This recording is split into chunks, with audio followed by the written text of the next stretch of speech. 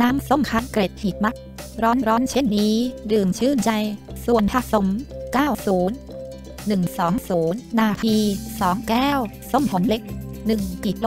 น้ำเชื่อม 1 ถ้วย เกลือละลายน้ำ 1ชดขั้นตอนการทำขั้นตอนที่ 1 ล้างส้มให้สะอาด คั้นน้ำและให้มีเนื้อส้มผสมอยู่ด้วยจนหมด ขั้นตอนที่ 2นำภาชนะใส่น้ำเชื่อมน้ำเกลือ ใส่น้ำส้มคั้นผสมให้เข้ากันชิมรส หวานเปรี้ยวเค็ม ขั้นตอนที่ 3 ใส่ภาชนะทนความเย็นนำเข้าช่องฟรีซ30 นาทีนำออกมาคนให้เข้ากัน แต่ต่อจนเป็นเกล็ดหรือแช่จนแข็งใช้ช้อนตักทานก็ชื่นใจ